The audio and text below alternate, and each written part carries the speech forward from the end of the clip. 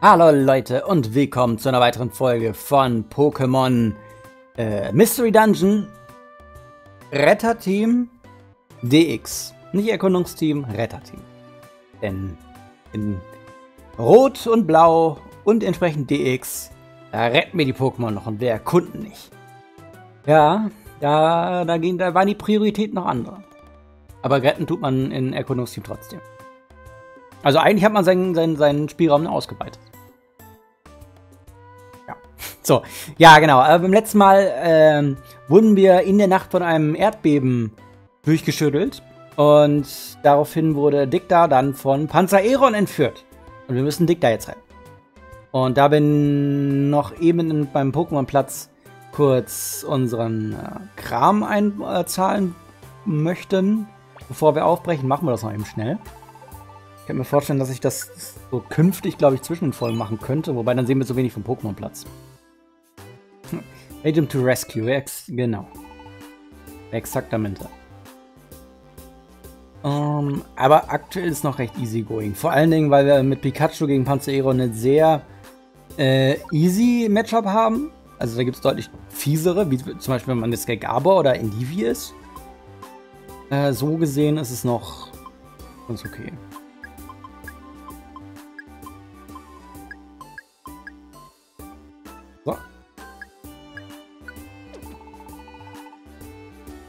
Äh, ich wollte jetzt noch das Defensivband angucken. Ja. Why not?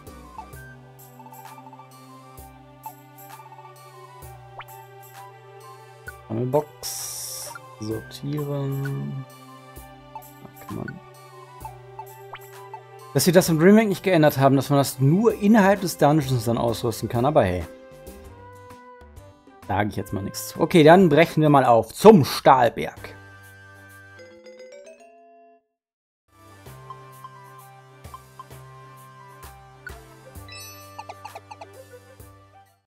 Da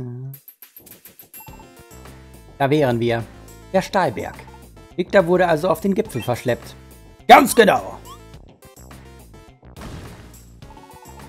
Der Gipfel befindet sich auf Ebene 9. Danke für eure Hilfe. Auf Wiedersehen.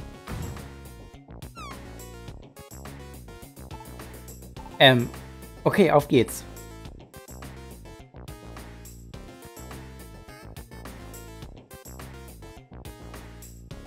So, Starberg.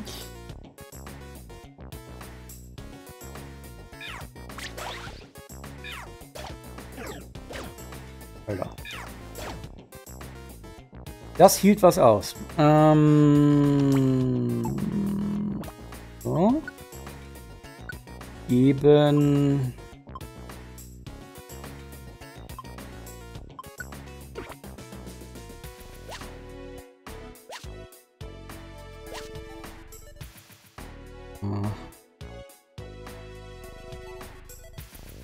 Hätte ich jetzt natürlich gerne Dingens, aber...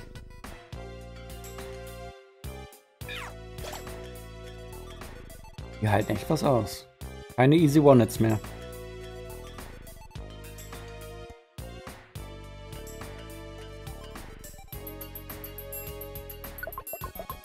Ähm, Strategie wird sein, dass wir so ein bisschen Mischmasch machen aus, wenn in, in der Ebene daneben ein paar Items sind, wie, es jetzt auch der Fall ist, dann nehmen wir die noch eben mit.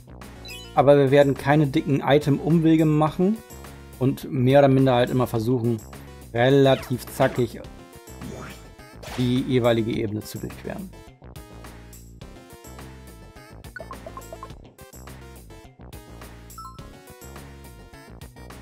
Hm. Danke, dass wir es jetzt bekommen. Mini-Belieber-Samen werden einmal auch wirklich zugeschmissen.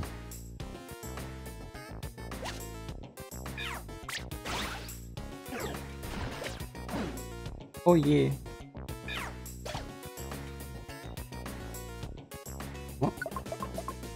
Gesenkte Genauigkeit wieder denied durch neue Ebene. Wenn sich das Pokémon auf der Map übrigens nicht bewegt, heißt das, es schläft. Meine auch Aufwachangriffe tun sogar mehr weh. Tun sie nicht.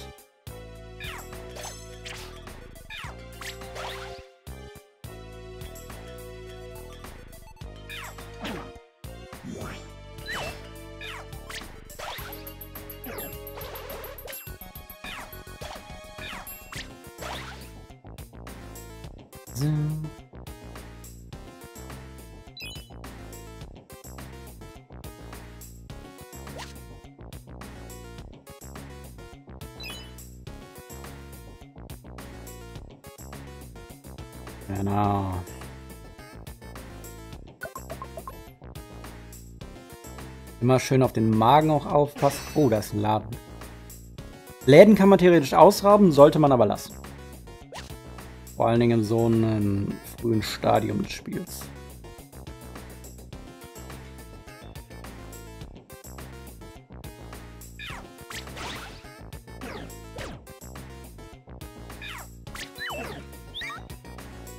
So.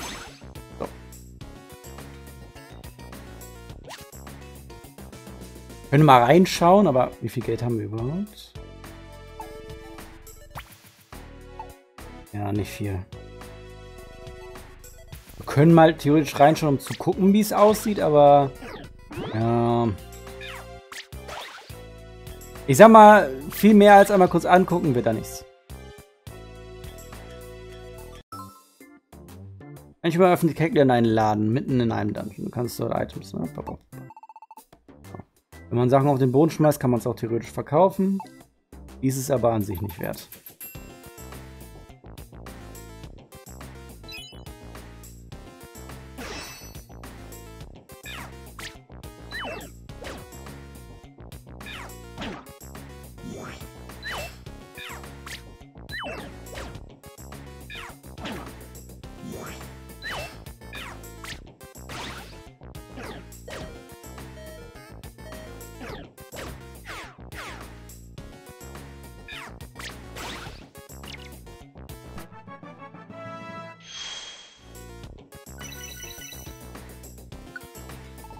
Hm?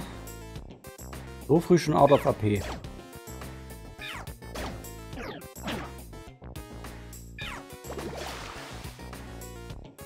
Oha. Wo kamen die denn her?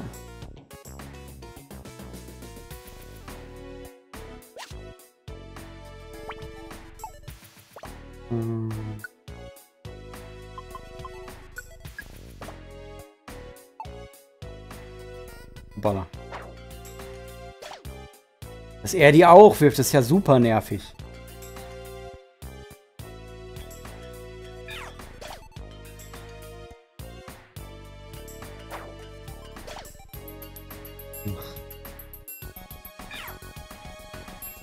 Ach so, das geht nicht über Eck.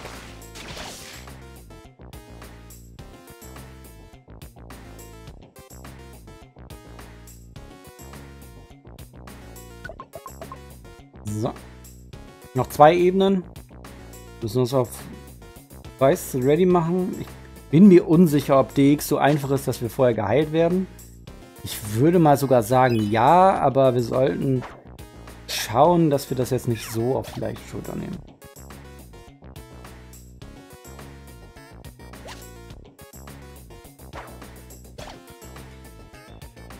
Pinsir.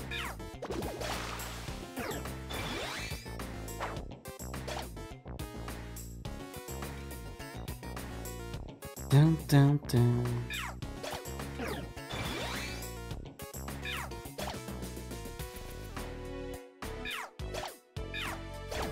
Alter.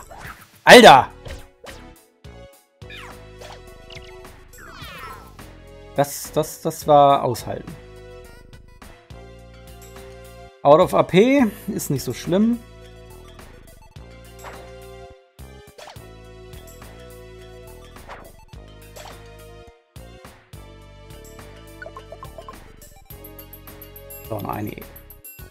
Eine Ebene.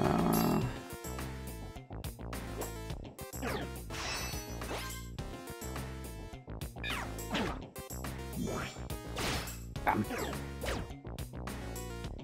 Dass er das da überlebt, ist so frech.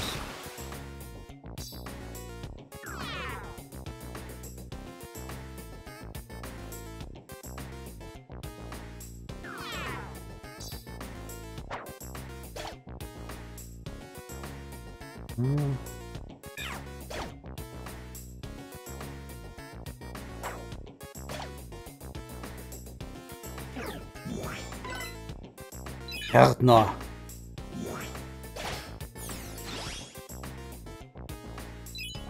Easy. Palmen gibt's jetzt schon? Krass. So, damit sollten wir durch sein. Ich würde aber mal behaupten, dass der Hunger jetzt in der letzten Ebene nicht mehr viel ausmachen wird. Und ja, wir mit Pikachu ein bisschen Vorteil haben. Sieh mal, Bajim. Da drüben ist Dick da.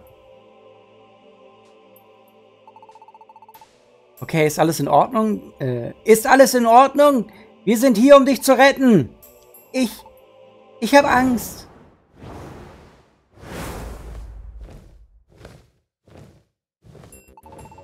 Hey, ihr da! Ich äh, glaubt, was, äh, was, was glaubt ihr, was ihr da tut? Wir sind hier, um Dickner zu retten. Lass ihn sofort frei, Panzer Eron. Wie könnt ihr es wagen? Es ist doch alles seine Schuld. Seit Tagen kriege ich kein Auge zu, weil hier ständig die Erde rumort.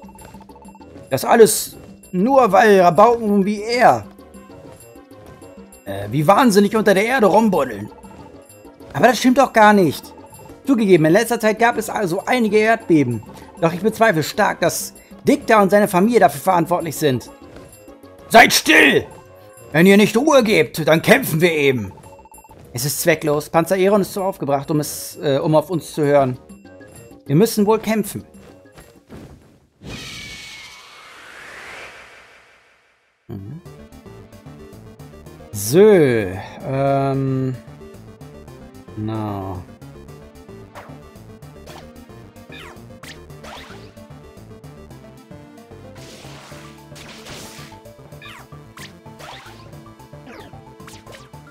Wichser.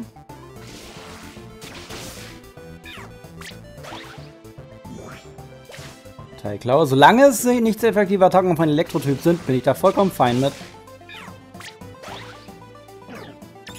Silberblick, das tut jetzt natürlich deutlich weh, weil jetzt tun die Attacken mehr weh.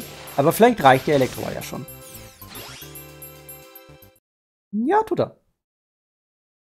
So.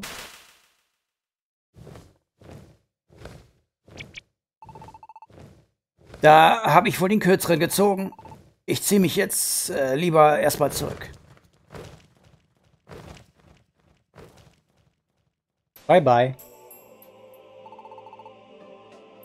Hey, wir haben Panzer Eron verscheucht. Alles in Ordnung? Äh, alles ist wieder in Ordnung. Du kannst jetzt rüberkommen. Ich kann nicht. Ich habe Angst. Kein Problem. Wir kommen und holen dich. Warte einen Moment. Oh je. Da geht es aber ganz schön weit runter.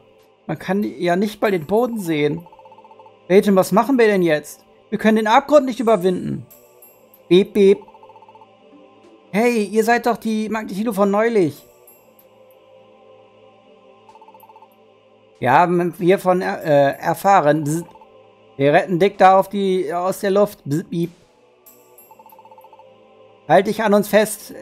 Beep, beep. Keine Angst, wir verpassen dir schon keinen Stromschlag. Ich habe auch das Boden-Pokémon Dick, darauf will ich keine Angst zu haben.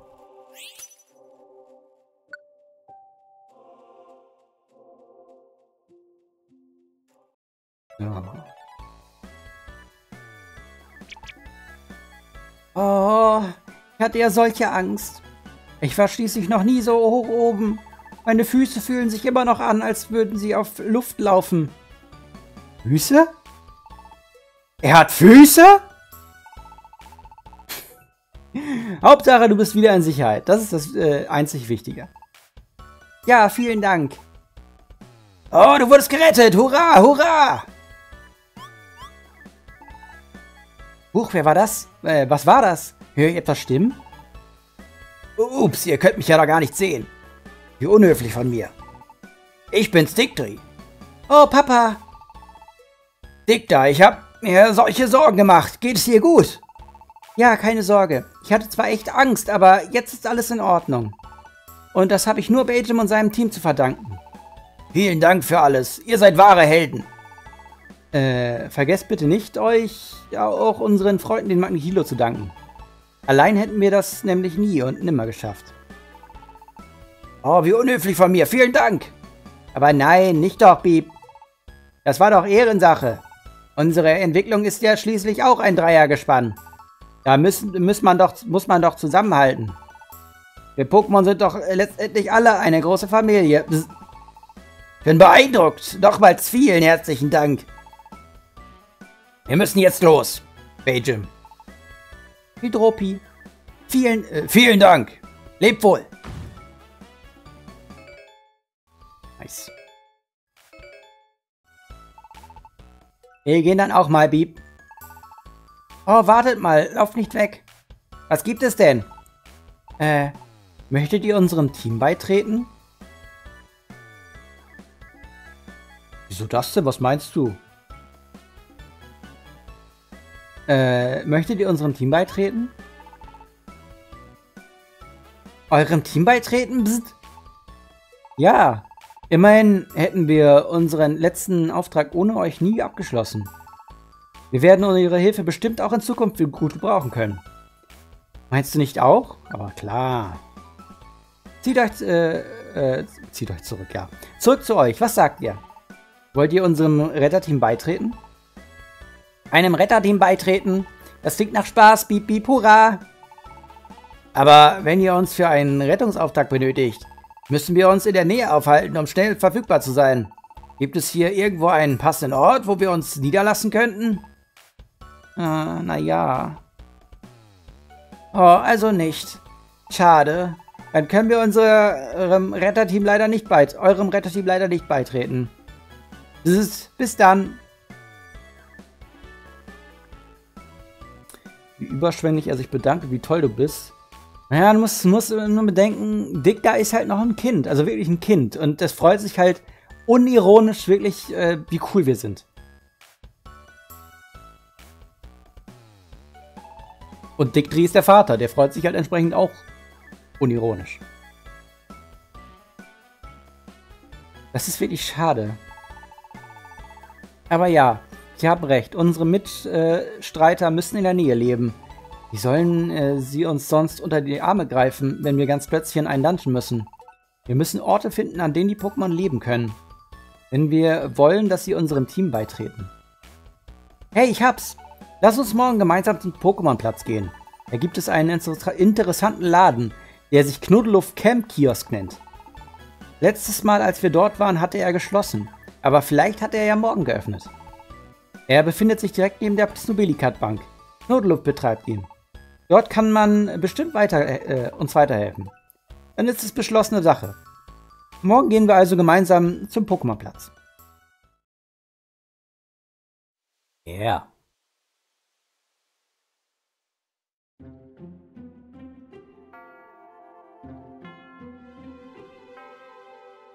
Schon wieder dieser Traum. Welches Pokémon könnte das sein? Hm, diesmal höre ich etwas deutlicher. Was? Ein Mensch? Meine Rolle? W warte! Bitte erzähl mir mehr!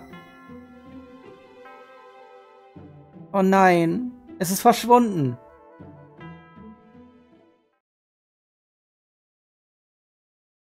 Am nächsten Morgen. Da, da, da, ich wünsche mal auch viel Spaß euch noch. Äh, man sieht sich. Ja, hau rein. Mach's gut. So.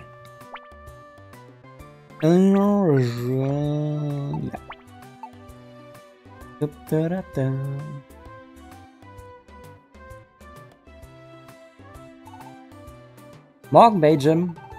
Da sieht aber jemand müde aus. Bist du etwa ein Morgenmuffel? Hahaha. Was? Du hast in letzter Zeit oft seltsame Träume? Was sind das denn für Träume? Hm, verstehe. Hey du hast doch gesagt, dass du in Wahrheit ein Mensch bist, nicht? Da könnte es doch sein, dass... Vielleicht haben die Träume etwas damit zu tun, wie du ein Pokémon geworden bist. Ich muss dich da etwas fragen, Jim. Wärst du gerne wieder ein Mensch? Gute Frage. Darüber habe ich bisher noch gar nicht nachgedacht. Wäre ich gern wieder ein Mensch? Ähm. Weiß nicht.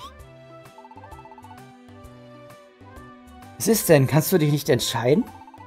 Das äh, glaube ich dir gern. Mit mir zusammen zu sein ist ja auch bestimmt viel lustiger. Wow. Da fällt mir ein, wir hatten doch vor, heute zum Pokémon-Platz zu gehen, oder? Wir wollten herausfinden, wie wir neue Mitglieder aufnehmen können. Worauf warten wir noch? Nichts wie auf zum Knuddeluft Camp Kiosk. Ganz genau.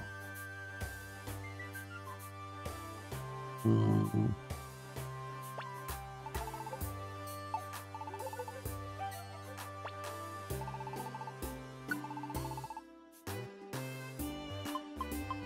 Ha!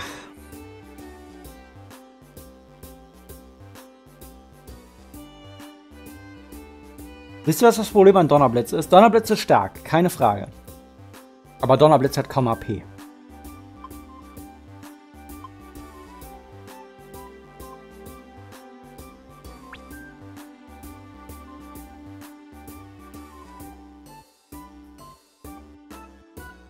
Das heißt nun Umgebung.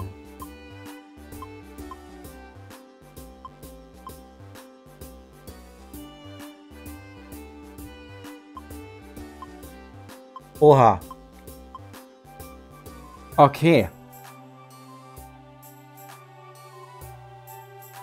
Alles um einen herum.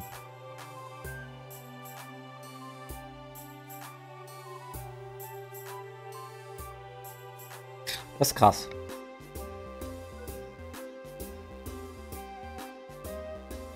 Aber ich sag mal so, der Donnerblitz wird uns nicht abhanden gehen. Und wir können jetzt noch ganz gut ohne. Immer noch.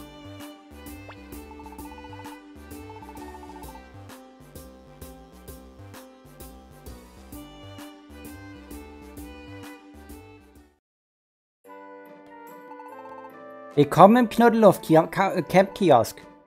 Ach, ist das etwa euer erster Besuch hier? Ah, verstehe.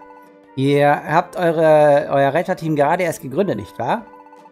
Dann seid ihr hier bei mir an der richtigen Adresse. Im Auftrag der Rettungsorganisation unterstütze ich hier Retterteams wie euch. Meine Hauptaufgabe besteht, da, besteht darin, Camps für die Retterteams zu erschließen. Dort können sich die Mitglieder der einzelnen Teams aufhalten. Das heißt, sie sind immer einsatzbereit, wenn ein neuer Auftrag entsteht, ansteht. Ob im Wald oder am Wasser, Camps gibt es an allen möglichen Orten. Ihr habt also die Qual der Wahl. Am besten sucht ihr euch Orte aus, die für Pokémon geeignet sind, die ihr in eurem Team aufnehmen möchtet. Normalerweise kostet es Geld, Camps zu erschließen, aber ich will mal nicht so sein. Da ihr heute das erste Mal hier seid, schenke ich euch drei Camps. Ich kann es kaum erwarten, mit den Camps durchzustarten. Tada! Meinen Glückwunsch, ihr habt nun Zugang zur Wildebene, zum Hochnebelwald und zur Himmelblauebene. Jetzt könnt ihr äh, Pokémon anwerben, denen eines dieser drei Camps zusagt. Wie man neue Pokémon anwirbt, wollt ihr von, wollt ihr von mir wissen? Manchmal freunden sich, äh, freundet man sich mit Pokémon an, gegen die man in Dungeons kämpft. Die fragen euch dann nach dem Kampf, ob sie euren Team beitreten dürfen. Das war's mit meinen Erklärungen, denn probieren geht über studieren. Piep, piep. Wo du schon dabei bist, Camps zu verteilen, kannst du den beiden bitte auch, den, äh, auch Zugang zum Kraftwerk gewähren? Ich will ihrem Retterteam nämlich ebenfalls beitreten. Na gut, heute ist äh, echt euer Glückstag. Tralala, Camps, hurra, wir haben was für alle da. Tada! Pipi hurra, das Kraftwerk ist jetzt verfügbar. Pipi hurra. Verzeihung, Bieb. Mein Freund könnte, konnte euer Angebot gestern nicht annehmen. Das hat ihn die ganze Nacht gewurmt, Bieb. Er wünscht sich nämlich nichts sehnlicher, als eurem Team beizutreten, Bieb. Würdet ihr meinen Freund bitte in euer Team aufnehmen? Ah, klar doch. Schließlich waren wir es ja, die ihn in unserem Team haben wollten. Dein Freund ist mehr als willkommen. Super, Bieb. Vielen Dank, Bieb. Gib dein äh, Bestes und sei äh, deinem Team kein Klotz am Bein, Bieb, Bieb. Bieb. Ich werde mein Bestes geben. Versprochen, Bieb. Bieb, Bieb, hurra. So. Nein. Beep, ich werde mich dann mal im Kraftwerk aufladen gehen, Beep. Wenn ihr meine Hilfe braucht, holt mich einfach im Kraftwerk ab, Beep. Bis dann, Beep, Beep. Da wir leider schon ein Elektro-Pokémon haben, wirst du traurigerweise nicht mehr wirklich großartig aus dem Kraftwerk entlassen werden. Der Weg links von eurer Basis führt zu den einzelnen Camps. Wenn ihr Magnetilo äh, auf ein Abenteuer mitnehmen wollt, müsst ihr die Teamauf äh, Teamaufstellung ändern. Sorry. Äh, nehmt dazu einfach den Weg nach unten. Ihr könnt die Mitglieder austauschen, bevor ihr zu den Dungeons aufbrecht. Das wäre äh, alles. Dann haltet mal schön die Ohren steif bis äh, bei eurer Arbeit. Hm, okay, ich habe ja prophezeit, dass wir eigentlich immer mehr als zwei Erkundungen machen könnten pro Tag. Also mehr als eine pro Folge. Aber sagen wir mal so, die Dungeons werden nicht kürzer und ähm, ja. Aber wir können auf jeden Fall. Was ist denn die seltsame Höhle?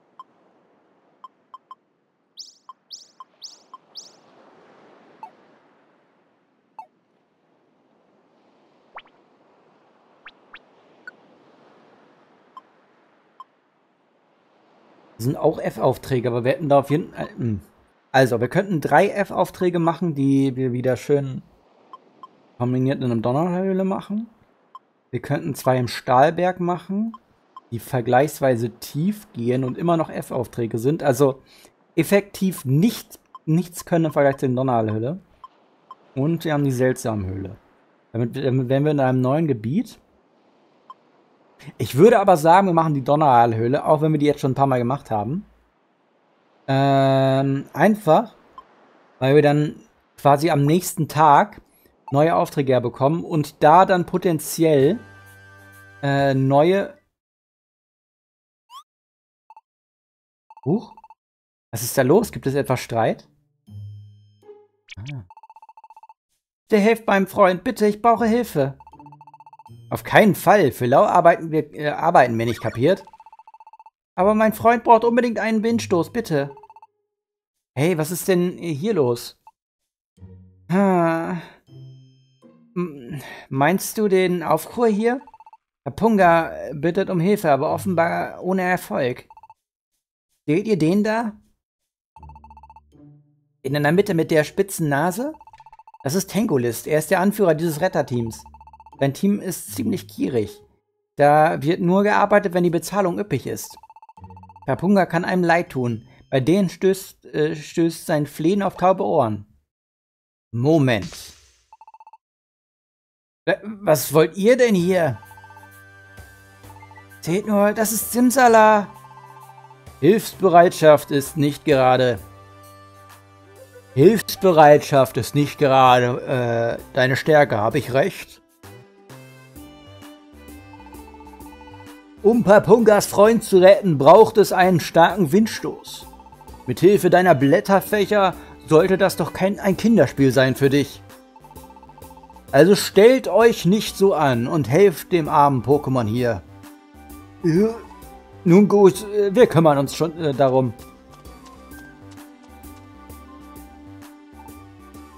Wow, Angulis hat sofort eingewilligt und war ohne jeden Wider und zwar ohne jede Widerworte.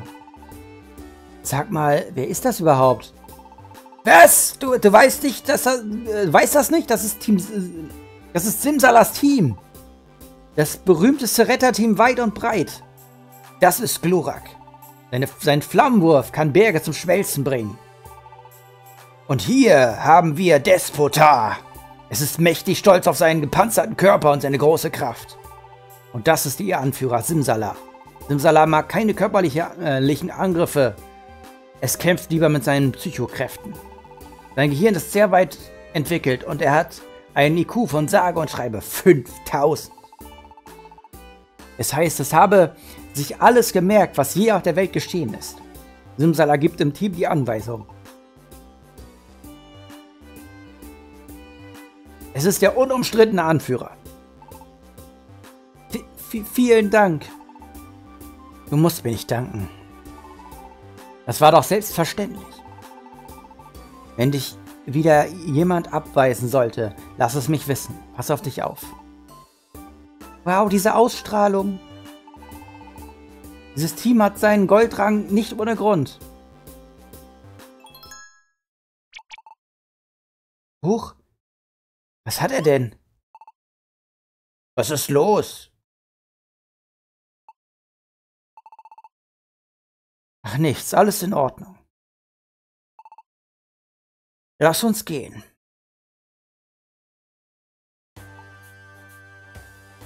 Huh, jetzt habe ich aber echt mit, äh, echt mit Angst zu tun bekommen. Cool. Wow, Benjamin. So müssten wir auch mal werden.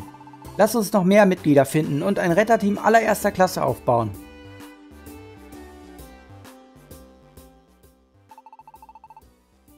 Nicht, solange ich das verhindern kann. hm. Oh, am nächsten Morgen. Hm. Okay. Ja, dann haben wir zumindest ein paar Retter-Team-Aufträge schon gesammelt gehabt. Zwischendurch. Und vielleicht äh, mal schauen, wie es heute weitergeht. Vielleicht kriegen wir sogar richtig schön einen Tag hin mit richtig vielen Aufträgen. Das macht am meisten Spaß. Aber das werden wir natürlich erst in der nächsten Folge sehen, denn äh, gesprächsmäßig war heute viel los und entsprechend ist die Folge wieder vorbei. Äh, auf jeden Fall wünsche ich euch noch einen schönen Tag. Ich hoffe, es hat euch gefallen und wir sehen uns beim nächsten Mal wieder. Also dann, macht es gut und bis dann. Tschüss.